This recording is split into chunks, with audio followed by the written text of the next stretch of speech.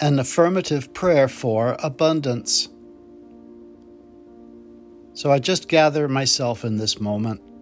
I call all the parts of myself in to realize that there's only one thing happening that the life of God is expressing as everything that's visible and everything that's not visible.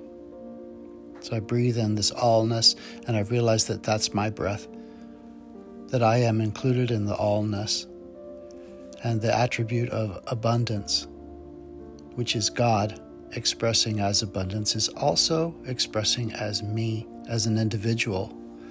I accept this beautiful life of abundance. I expect that all experiences return to me exactly like that.